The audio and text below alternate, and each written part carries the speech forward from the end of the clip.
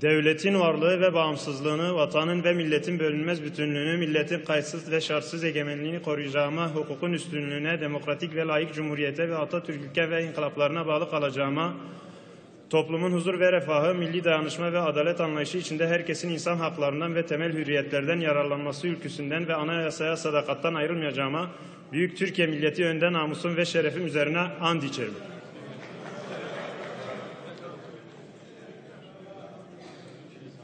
Devletin varlığı ve bağımsızlığını, vatanın ve milletin bölünmez bütünlüğünü, milletin kayıtsız ve şartsız egemenliğini koruyacağıma, hukukun üstünlüğüne, demokratik ve layık cumhuriyete ve Atatürk ilke ve inkılaplarına bağlı kalacağıma, toplumun huzur ve refahı, milli dayanışma ve adalet anlayışı içinde herkesin insan haklarından ve temel hürriyetlerden yararlanması ülküsünden ve anayasa sadakattan ayrılmayacağıma Büyük Türk milleti önde namusum ve şerefim üzerine and içerim.